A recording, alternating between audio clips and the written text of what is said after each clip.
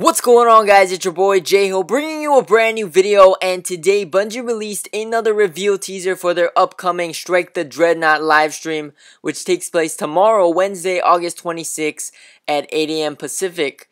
So I'm gonna let you guys watch the reveal trailer real quick and then we can get into it.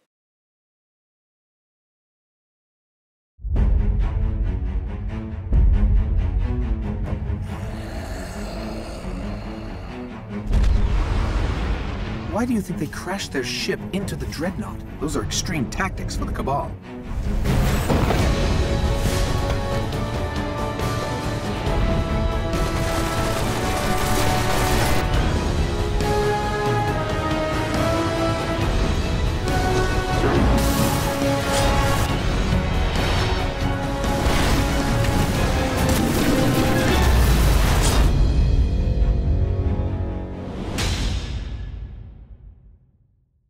So pretty epic reveal teaser, not as much information as last week, but one thing I wanted to point out is this image of the Dreadnaught from orbit. So here we got a menu or map overview of the Dreadnaught and what we can see here is 5 new story missions, patrol mode, 2 new strikes, and the King's Fall raid all on the Dreadnaught.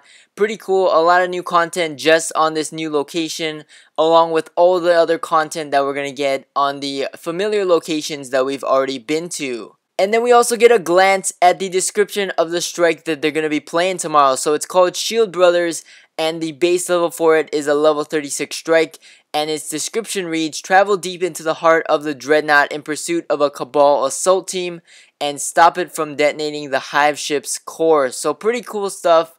We're going to be battling the Cabal on the territory of the Hive of the Taken and it's going to be pretty cool stuff. We're going to get to see the new subclasses in action along with this new strike. So pretty cool.